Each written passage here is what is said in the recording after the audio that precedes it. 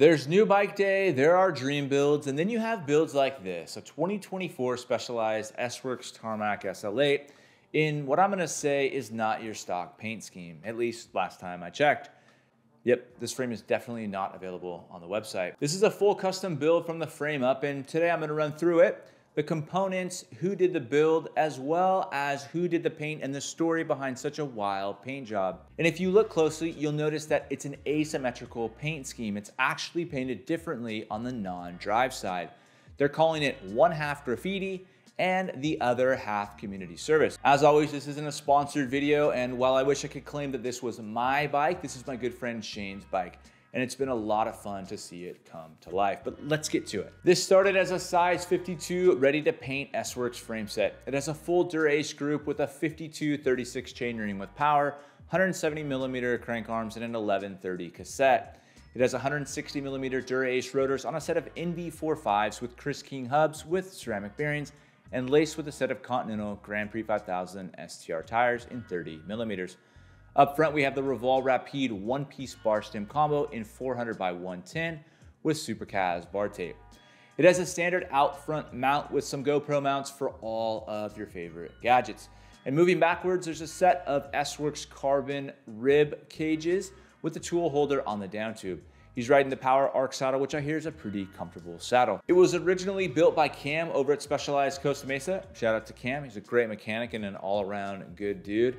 He took the frame set, built it up, and then stripped it back down again to just the frame, fork, seat post, and bars to be sent to Ron Jones over at Pro Bike Design. And this is where things get interesting. Shayne and Ron have worked together on a handful of different projects.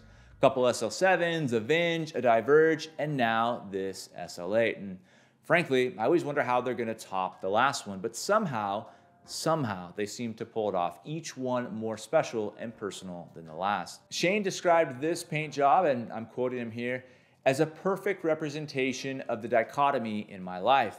If the drive side reflects who I think I am, then the non drive side reflects the me most people see. Simple, calm, controlled, and conservative. If you look closely, you'll see the real me still trying to poke through.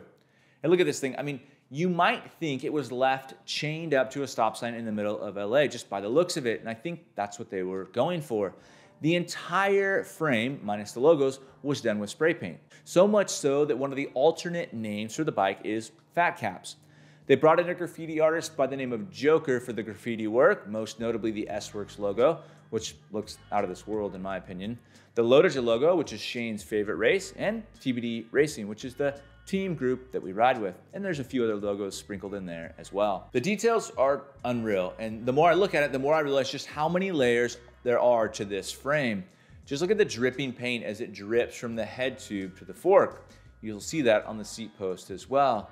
And then you have the bars, which I think the bars are an easy one to say, ah, we'll just leave that as is. But they didn't. They painted it and they painted the stem. I mean, it's so dang cool.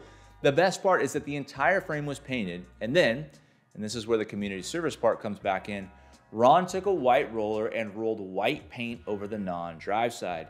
You can see the paint job peeking through the white paint. I actually heard that Ron reached out to Shayne before doing it and said, I've got a white roller in hand. Are you sure you want me to do this? I love the way that they went all out, just totally nuts with the frame to create a true one of one bike or a piece of art, depending on who you ask. When the frame was done, it was boxed up, it was shipped back to Specialized Costa Mesa where Cam with that ultra detailed eye, built it back up and now it's on the road today. And what's funny is that it's not uncommon for someone to see this bike on different days and mistake it for two different bikes because of the split paint job. It's often like an aha moment for some people that we ride with. I appreciate the individuality that cycling offers and projects like this are a good reminder that we don't always have to wear the same kits, ride the same bikes, and come from the same place. We see this in other sports, and I think it's slowly trickling into cycling.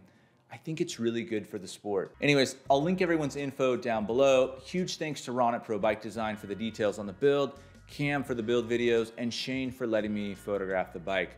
I owe you a huge pull through the Great Park. Do me a favor and drop me a comment below and let me know your thoughts on this bike. I think it's rad and I think it's one of the best custom bikes I've ever seen. Anyways, until next time.